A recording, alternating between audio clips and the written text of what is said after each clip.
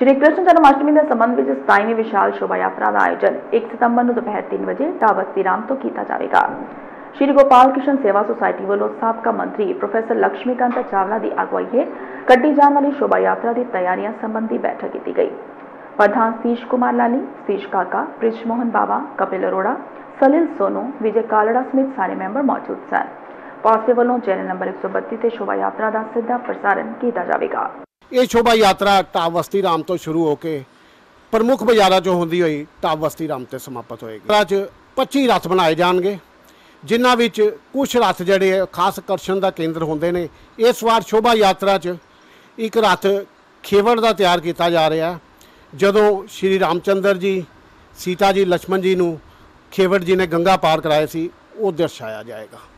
ਇਸ ਤੋਂ ਇਲਾਵਾ ਸ਼ਹਿਰ ਦੀਆਂ 8-9 ਬੈਂਡ ਪਾਰਟੀਆਂ ਸ਼ਾਮਿਲ ਹੋਣਗੀਆਂ, ਸਕੂਲਾਂ ਦੇ ਬੱਚੇ ਸ਼ਾਮਿਲ ਹੋਣਗੇ। ਅਸੀਂ ਜਿਨ੍ਹਾਂ ਬਾਜ਼ਾਰਾਂ 'ਚੋਂ ਸ਼ੋਭਾ ਯਾਤਰਾ ਲੰਘਣੀ ਹੈ, ਉਹ ਬਾਜ਼ਾਰ ਦੇ ਦੁਕਾਨਦਾਰ ਭਰਾਵਾਂ ਨੂੰ, ਉਹ ਬਾਜ਼ਾਰ ਦੇ ਨਿਵਾਸੀਆਂ ਨੇ ਪ੍ਰਾਰਥਨਾ ਕਰਨੇ ਆ ਕਿ ਆਪਣੇ ਆਪਣੇ ਬਾਜ਼ਾਰਾਂ ਨੂੰ ਸਜਾਓ, ਛਬੀਲਾਂ ਲਗਾਓ, ਲੰਗਰ ਲਗਾਓ।